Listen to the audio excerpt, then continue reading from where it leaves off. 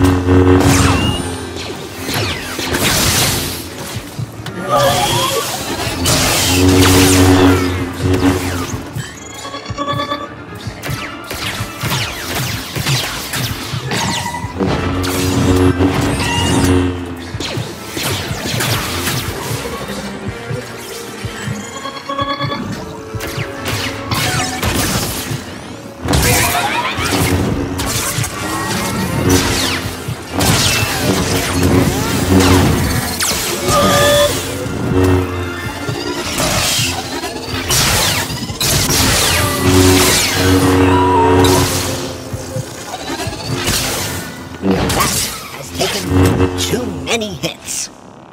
Consult your data for additional unsafe techniques. Return for more training after recovery.